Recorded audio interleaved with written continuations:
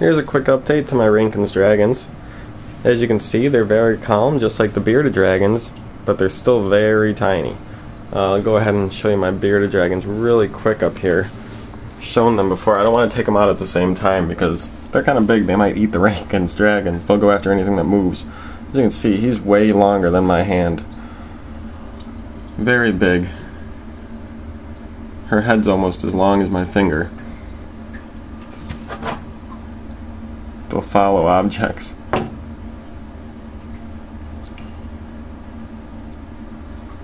But anyways, they're huge. My Rankins dragons I've had for some time now, still pretty tiny. Now this is the female, and this is the male. The male is larger. You can tell his head is almost twice as big. But they're doing great. Both very calm. Easy to handle. Now these are great lizards, and I actually recommend them over bearded dragons uh, for some people. And the reason why is they are smaller. Now these guys are not full size. They will get pretty big, not huge. I'd say this guy is maybe, let's see, let's do that little measuring test with my fingers. It's about an inch, one inch, two inch, three inch, four inch, five inch, maybe five or six inches long and they can get to be about a foot long. So he's about half as big as he's going to get.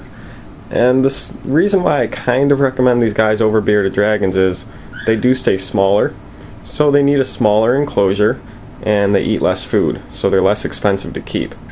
Um, that being said, bearded dragons are awesome too, and they don't really cost that much more, but they do require more crickets, more lettuce, you know, more everything because they are bigger lizards. But they're basically just miniature bearded dragons. They're not bearded dragons, of course, they're Rankins dragons. They are a different species, but they look very similar, act very similar, and eat pretty much the same things.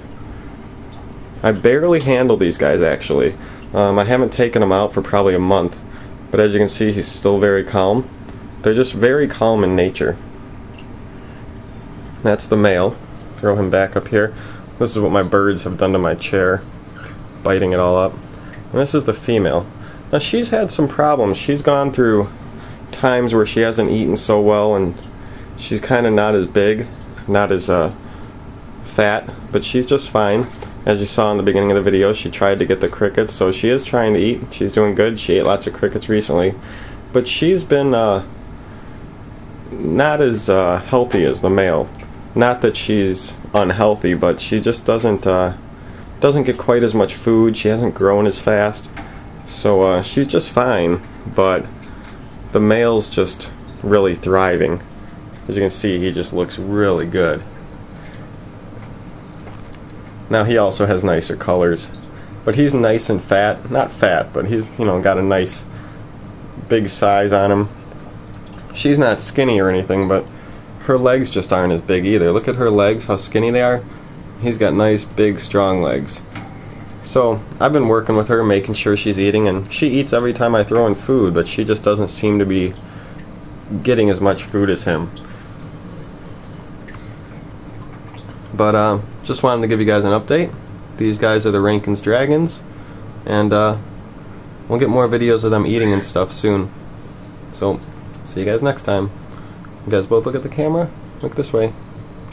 He doesn't want to.